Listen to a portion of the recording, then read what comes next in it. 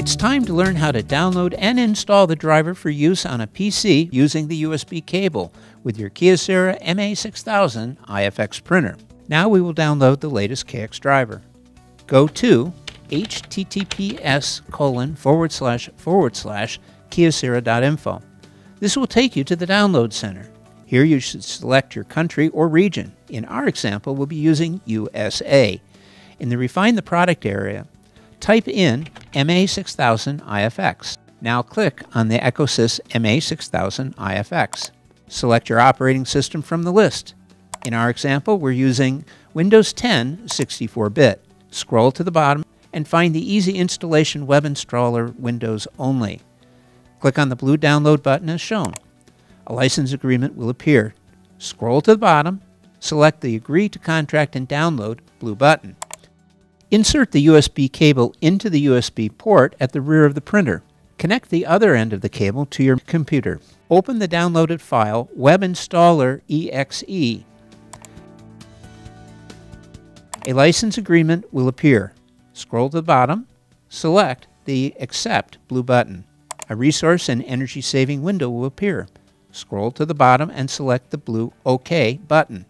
Next, the Web Installer window will appear there will be three options install, uninstall, and maintenance. Select Install. Your computer will now search for your new printer. This may take a few minutes. Click on the EcoSys MA6000 IFX and the kind shown as USB. Click Next. In a few seconds, you'll be presented with the select components to install. The KX driver, fonts, Kyocera QuickScan and status monitor should already be checked. Next, click the blue Install button. Your installation will begin. Each selected component will be downloaded and installed. Once complete, the status will change to Installed. This process may take some time, so please be patient. Once all components are installed, click on the blue Next button. The configuration window will appear you can click on Print a Test Page, and upon setup completion, the machine will print out a test page.